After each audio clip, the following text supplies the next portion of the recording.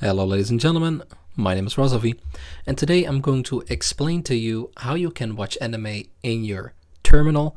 It's very simple, it's the most simple thing ever, really, trust me. Um, you can use this on basically any platform, even on Windows. Uh, I'll be using Linux, um, in fact I'm using Fedora 43 KDE. Um, the tool is called ani-cli, so if that's all you wanted to know and figure it out yourself, then by all means, that's the end of the video for you.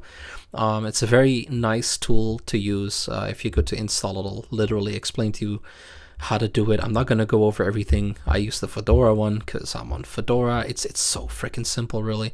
Um, then what you want to do is you go to the terminal, you type in ani-cli, or Kli, I'm not really sure what the pronunciation is there. I just say Kli, and you search for an anime. Okay, so this can be, let's see, what do we want in this case? We want Dr. Stone. Now you'll get many types of Dr. Stone. Let's go with the first one, with the season one. And we want to watch, I don't know, episode three. I don't know why. Let's just say that we do. It'll then pop up soon. Basically, you can also change the quality and all that kind of stuff. But as you can see here, it works perfectly fine. You should not be hearing any audio. That is normal because I turned that off. But like like I said, it is working fine. Now, there's a fun trick though, um, because it's always, it defaults to dub. Uh, excuse me, it defaults to sub. But if you want to watch it dubbed, it's very simple. You do ani-cli dub.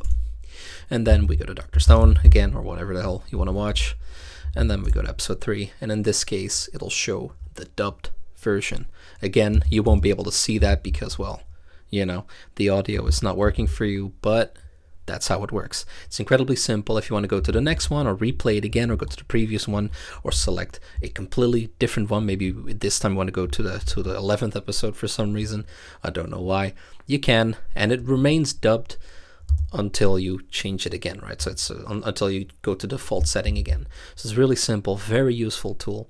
If you're on any platform, you can use this. You can even use this on Android. That's the fun part. Like I use this on Android a lot. You need uh, Termux. Uh, I might do a different video on Termux if you guys want me to. And it's so simple. It's just package install ani-cli. that's it. It's so freaking useful. So ladies and gentlemen, that's how you watch anime in your browser or in your terminal. What am I saying? Uh, thank you very much for watching. I was Razovy, and you were you and I will see you guys later. Goodbye.